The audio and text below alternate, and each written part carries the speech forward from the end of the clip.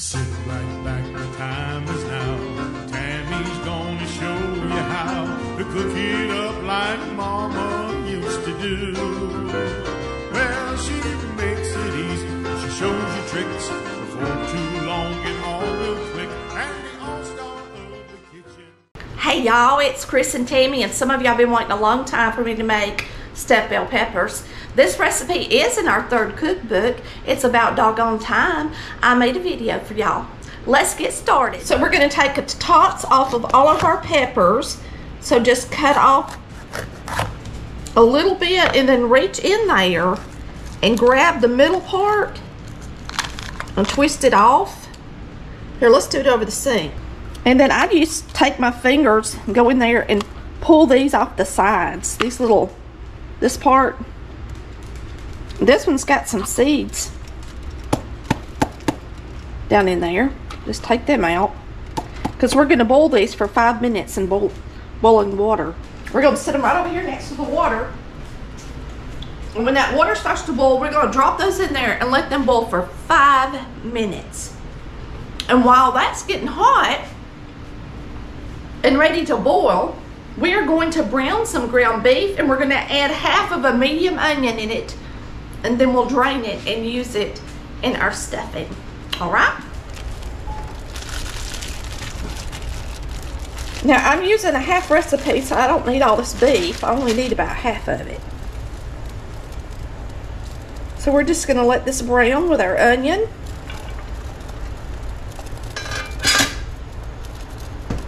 And we'll be right back.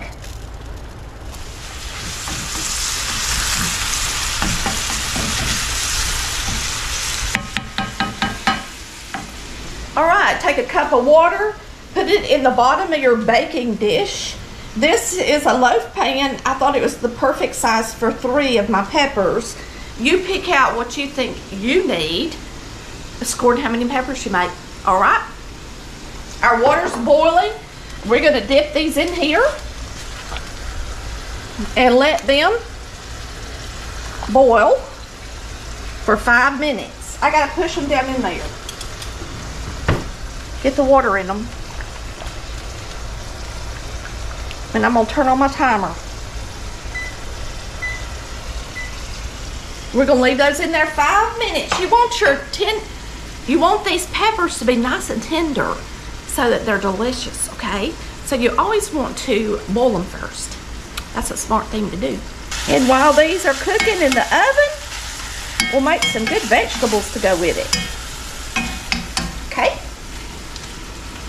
Now Just gonna scoop this over and drain my ground beef right in the skillet with some paper towels. Y'all have seen me do that before. Easy cleanup. Be careful and don't get burnt. I like to flip it over use both sides of my paper towel. Now for our stuffing, I'm going to go ahead and put my beef in here with the onion. All right, you're going to set aside some of this tomato sauce to use on the top of your peppers. And I'm using this small can because I'm using half the recipe and I've already told y'all that. So y'all just go by the recipe if you're making six peppers. That's a cup of rice. You're going to use about a half cup of cheese. You're going to use ketchup and mustard.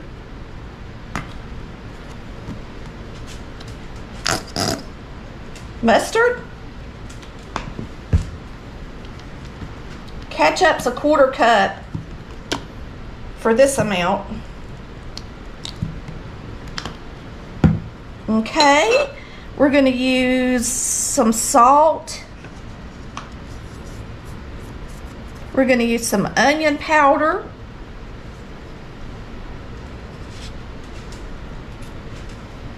And some chili powder. So let me grab a teaspoon.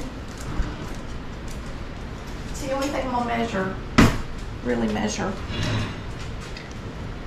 And it's supposed to be a quarter teaspoon for half of the recipe. So not a lot, just a little. And we're gonna mix all this up. with half of this tomato sauce. Leave enough tomato sauce for the top of the peppers. So it's just mustard, ketchup, salt, pepper, cheese, a little bit of chili powder, and onion powder. All there is to it. Simple dimple. Simple ingredients, southern cooking. Our peppers have boiled for five minutes, so we're gonna set them right here in this baking dish with that cup of water. You wanna go ahead and put the water down in the bottom because you want them to be tender. You don't want dried out stuffed peppers, okay? And you do wanna go ahead and cook your rice as well. So it's cooked rice that goes in the middle of your peppers. And now we're gonna stuff our peppers. Well, I dropped some. I knew I was gonna do that. That's all right.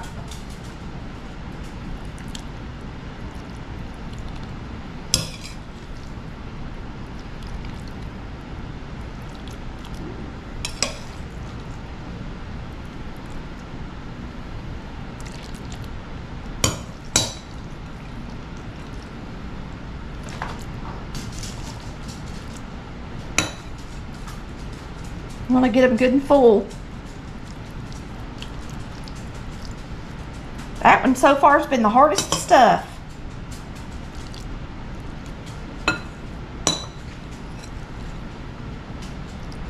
All right. There we have it. All right, now we're going to take our tomato sauce and pour it right on the top of them. Now I'm going to take some foil and I'm going to wrap them with some foil. I'll dome it a little bit. And then we're gonna let this be covered for 45 minutes, okay? And in 45 minutes, we're gonna take the top off, the foil off, and we're gonna put some cheese on top of them, and we're gonna let them finish baking for 15 minutes. So these are gonna bake at 350 degrees for a total of one hour. 45 minutes, foil on, 15 minutes, foil off. All right?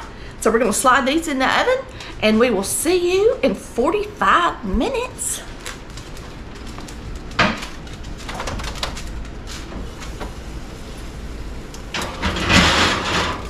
Well, y'all, I'm gonna turn up my water because me and Chris are gonna have some corn on the cob with this. And I'm gonna reach in here and grab this and we're gonna take the foil off of it and put some cheese on it and then put it back in there. Try not to let all my heat out of the oven. Okay. Don't get burnt. Taking the foil off. Okay. Trying to find my cheese. I can't remember where I put it. So I'm just going to put some cheese on the top of every one of them. And then we're going to eat, y'all. 15 minutes and it's going to be ready. Put it back in there for 15 minutes.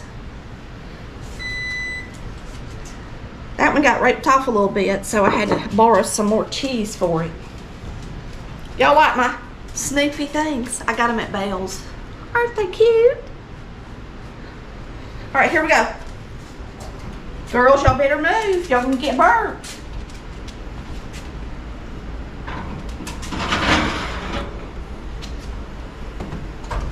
Woo, we'll see y'all in about 15 minutes and it's gonna be good. All right, our corn is ready. Now, I only boiled my corn about four minutes. And since I had the water for the peppers, it made a lot of sense just to boil some corn. So if you have some fresh corn this time of year, if you're making stuffed peppers, it makes a lot of sense just to make you some good old corn. All right, we're gonna get these out of the oven and I'm gonna put them on this platter and let y'all see how pretty they are.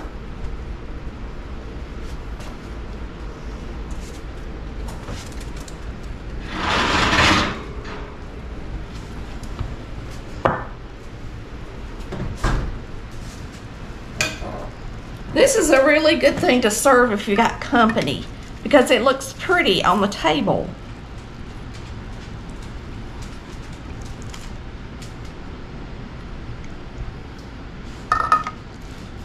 It's easy to serve, ain't it, Chris? Mhm. Look at there, look at there. pretty as a picture. Now, those things are real hot. We're gonna make us a plate and I'll cut into one and let you see how pretty it is and how delicious it is. So what we're gonna do is we're gonna slice into here and see how this thing looks right in the middle. So y'all can see it. Looks good and cheesy. Cheesy good. All right, y'all, this is in the third cookbook, our stuffed bell peppers. And you should be having some bell peppers come out of the garden soon. So this is a great recipe for this time of year. All right, we're gonna give this a try. You can see after I halved it, it looks good, good, good. It's got plenty of cheese. See how delightful it is.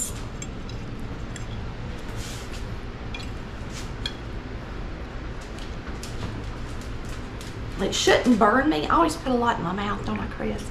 It shouldn't burn me because it's been sitting here for a minute. It's really good. The pepper is just right. It's good and tender. The flavor is outstanding. With that cheese, you're gonna love these. They're really not that hard to do. And if you don't have any rice cooked, use some minute rice. It's not gonna hurt nothing. There's a little bit of rice that goes in these. I hope you've enjoyed watching us on Collard Valley Cooks. And I hope you come back and see us and try this stuffed bell pepper recipe. This recipe will be online, like all of our other recipes, printable at collardvalleycooks.com. We'll see you next time. Love ya. Bye. Tammy, she just showed you how to cook it up like Mama used to do. Marcy, One to be halved. Marcy, Marcy, Marcy, you look at me. Stop. Stop. Marcy, look here.